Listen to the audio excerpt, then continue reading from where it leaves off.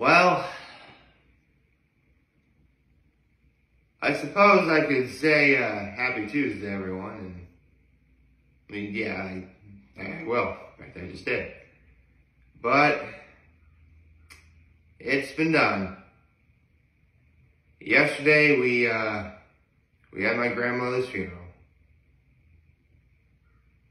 Um, there's definitely a lot to unwind for this. Uh, guess there's no better way to start than shortly after I cut the camera yesterday. So I get to my car. And by the way, like,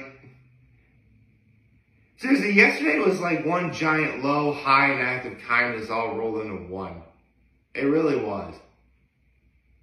Because I could, because there was a lot of sad stuff that happened yesterday, low. A lot of good stuff that happened yesterday, high. And, you know, my act of kindness was obviously helping out whenever I could. So, I guess there's no better way to start than again after I cut camera. So,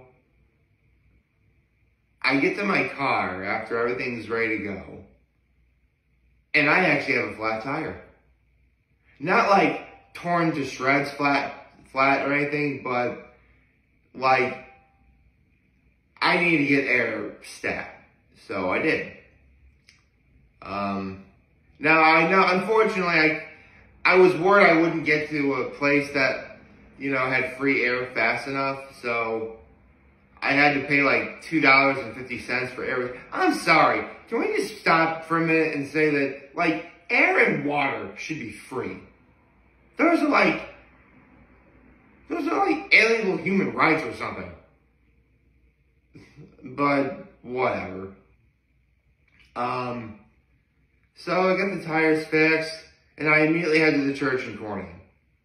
And, you know, I get there pretty early, you know, I greet people as they're walking in, you know, um, lots of people send their condolences, which reminds me, for those of you who've been, you know, wishing me condolences for the last, probably since Thursday, um, I mean, I really couldn't thank you guys enough. I mean, saying that you're sorry for someone's loss, again, I said this, I said this before, but it bears repeating. It may only be just a simple act of kindness, but it's a simple act of kindness that really does go a long way. And I really couldn't thank you guys enough for the support. So, um, the service starts. Um, you know, it's your typical Catholic church funeral. Um, my brother had the first reading. I had the second one. Um, you know, I don't want to sound like I'm heartless or anything, but I definitely felt sad but I didn't cry. I almost did though, which, believe it or not, came at the end of the service when my father had a few words.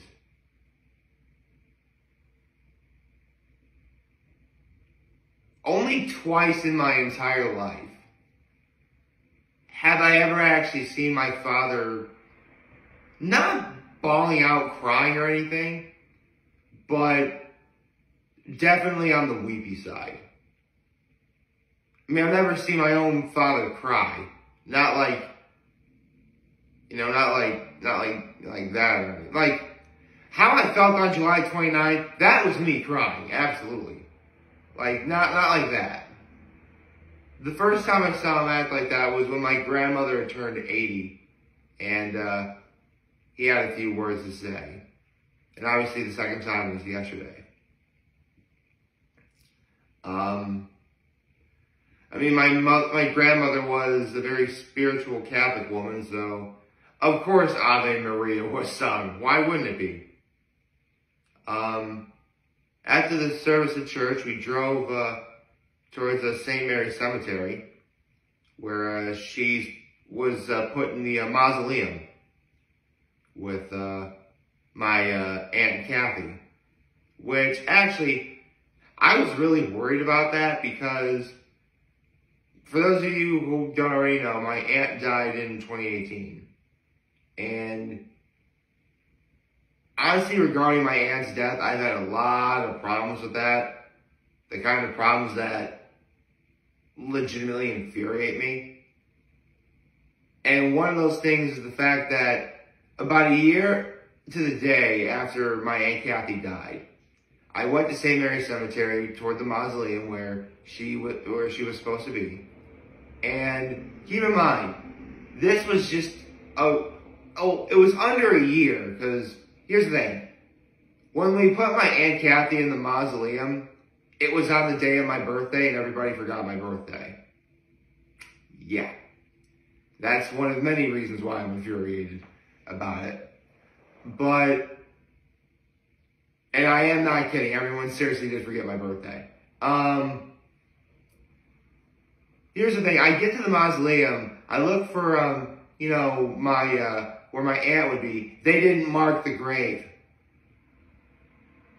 It'd been almost a year since we put her in the mausoleum and they didn't mark it. Eventually they did mark it after we made several. Seriously, it actually took them like years to finally get the grave marked. And I'm sure they have like a system, but here all the while I'm worried that like, God forbid we actually, you know, one of my grandparents dies because they're going to the mausoleum too. Like, what if we open where the marker is supposed to be my aunt's not there?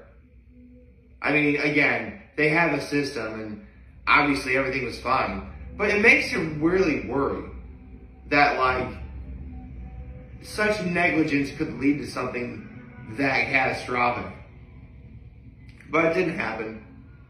Um, everybody got to keep a white rose for a namesake and stuff like that. And um, a lot of people said that then we got to the um, at the, the party at my folks' place where there was way too much food. Like we got pizza from Emilio's and Fox's all the way in Campo because we know the guy who owns Fox's. Um, there was a vegetable plate, a vegetable platter, a cheese platter, fruit platter. Um, as I mentioned, pizza. There's also boneless wings, um, salad, chips. Like, it was unbelievable. Um, uh, cookies. Um, and, you know, just seeing everyone smiling, having a good time, even after an event like this, you know, it, it definitely puts things into perspective. I mean, I was absolutely happy to see all that, but I just wish it was under better circumstances. And, um, I guess doing all these videos um, definitely helps with my public speaking because a lot of people really complimented how well I did the reading in church yesterday. Which, I mean, honestly, in terms of what I would like to do, I mean, stuff like voiceover is my number one thing. But, you know, I wouldn't mind doing like broadcasting or announcing or, or public speaking. I can do that. I think I do pretty well at that.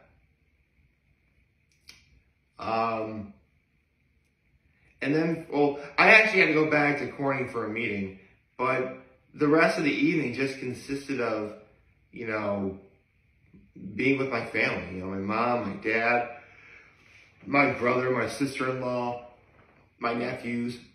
Um, actually, uh, my brother and sister-in-law ordered Chinese for everybody for dinner which uh, is great. And Chinese in a good while from uh, Shanghai Express and Big Flats, which I really gotta get to putting Shanghai Express on the color list. I mean, I just like how it's, I mean, that's easily the Chinese food place I've been to the most in my life. Um, I mean, there's a few Chinese places. I actually live, there's literally like a Chinese place like a good hundred feet from where I live. Yeah, it's been a while since I've actually, well then again, I'm so terrible. There's like a whole bunch of stuff I'd order from like that place. I get like General Tso's chicken and pepper steak and like egg rolls or actually cabbage vegetable rolls or whatever.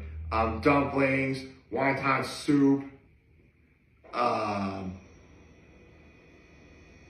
like Mongolian beef. Like Chinese food is one of my things, bro.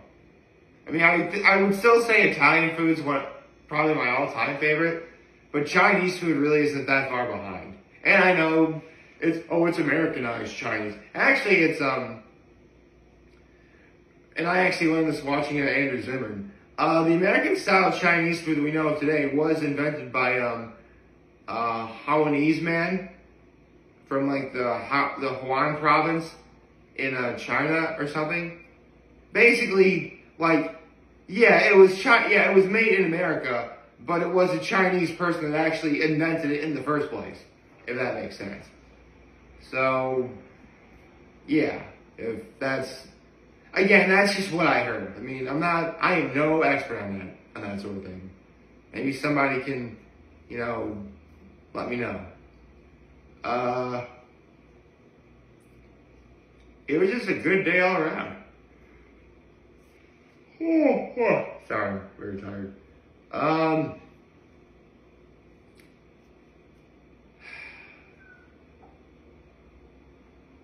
I think since my grandmother died, the one thing that's really gotten me most about her passing is I can hear her voice so vividly in my head. And you know what? It's the same thing with both of my grandparents that also passed away on my mom's side. And both of my aunts on my father's side, for that matter. And my great aunts, too. Actually, my grandmother just joined them now, so all three sisters are together again. I visited their grave sites, too, yesterday. Um, let's see. I, where was I? Right. Like, every single person I've ever known from my family who's passed away, I can vividly hear their voices in my head. Not saying I'm going crazy. Like, if I can just close my eyes and think of, and just think of them, like, I can immediately picture, like, what they sound like in my head. And I think that's what's been getting to me about, you know, the deaths in my family is I am never going to hear those voices ever again. I mean, it's sad to the point where I have to stop and think, oh, that's, that's awful. But it hasn't been, but not quite sad enough where like, I immediately stop and like take a second like crying thing and stuff. Yeah, I'm saying stuff way too much in this video. I'm sorry. Uh,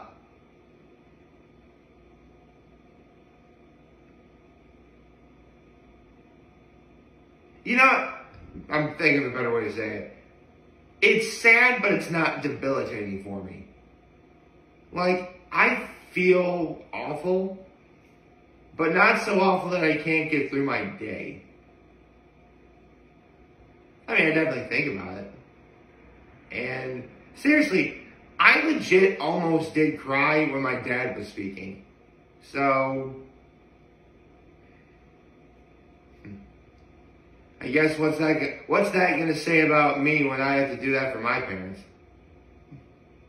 Well, my brother did say that I got my folks for probably another 25 years or so. Then, he and I are all we got left. Yeah. I wouldn't have it any other way though. So, um, if anyone, if anyone in my family is watching this at the moment, um, I hope this all finds you well. I'm sure a bunch of you all got home safe and sound from the festivities. Some of them came all the way from Ohio. So I'm sure a bunch of them came, got home safely. Um, anyone else in my family who's watching this and couldn't make it, um, I hope this finds you well and know that, you know, the service was beautiful. Know, my grandmother kept, seriously, my grandmother didn't even have any calling hours.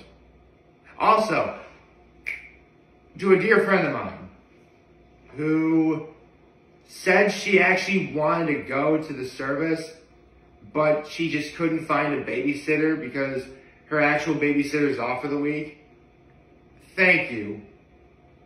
I know that you couldn't come, but it really is the thought that counts.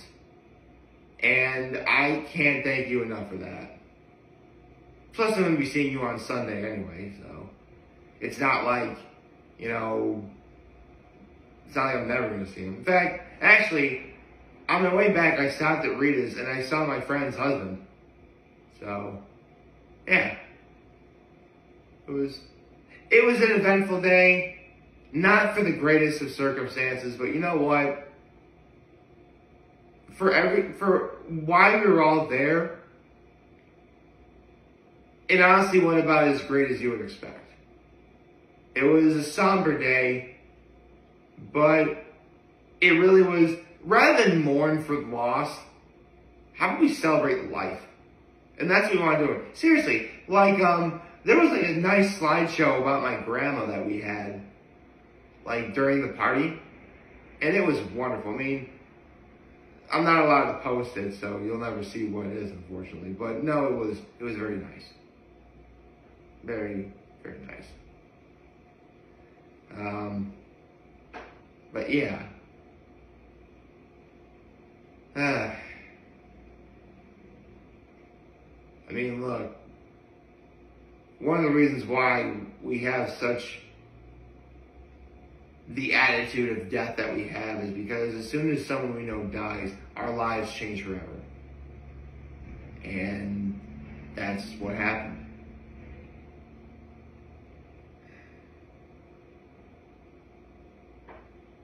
Doing some math mad.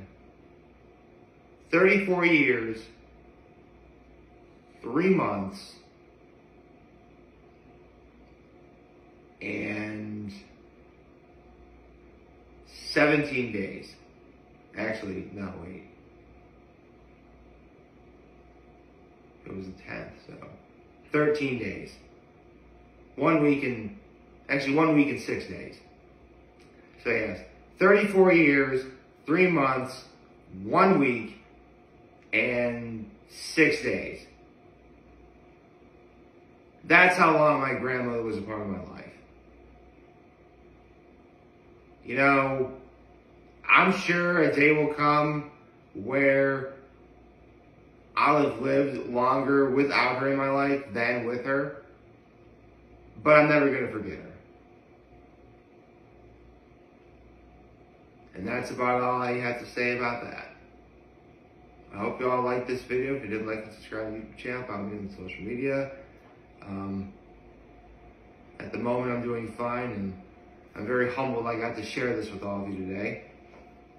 I'm hopeful that we have a wonderful Tuesday. It's a bright sunny day outside. I think it's going to be a good day weather-wise. Um, if any of you guys ever want to talk, you know I'm going to be here to listen. So uh, take care and make good choices. 607 all day, baby.